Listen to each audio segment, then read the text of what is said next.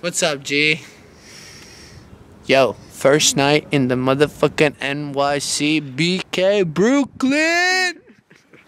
We went to a fucking smoky, smoky ass club called Bossa Nova.